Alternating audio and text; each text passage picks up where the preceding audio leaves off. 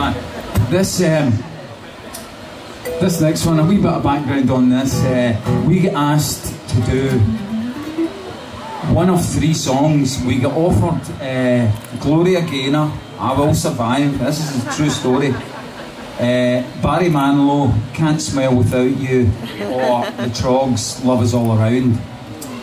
Neil wanted to do Barry Manilow, Can't Smile Without You. Uh,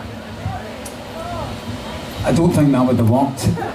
Gloria Gaynor, I Will Survive, man. Mm, let me have a wee think about that. I don't know. Don't know if that's going to work either. So we, we, we spent one new year. It was the 2nd or 3rd of January in 1993, I think, or 94.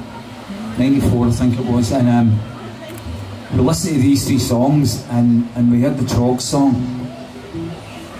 And, and I remember at the time, I thought, do you know what? If, if we tune our guitars up, it's going to sound better than their version of it, you know? So we, we, we had this intro, which we called the canon, right? Which was just a big noise that you went bang, and we thought that'll be nice over these three chords. No. Capo jazz again. Like, like that, and, and it magically kind of combined and joined the Troggs, Love Is All Around. And, uh, And then Graeme asked me in the studio, Grazer, can you play slide slide guitar? And I said, yeah.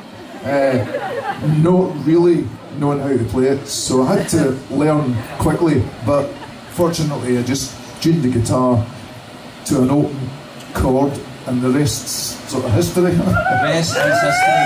And, uh, and we did the whole of the UK's nutting for the whole of 1994 summer. And it was a joy to behold for us, man. Anyway, it goes like this.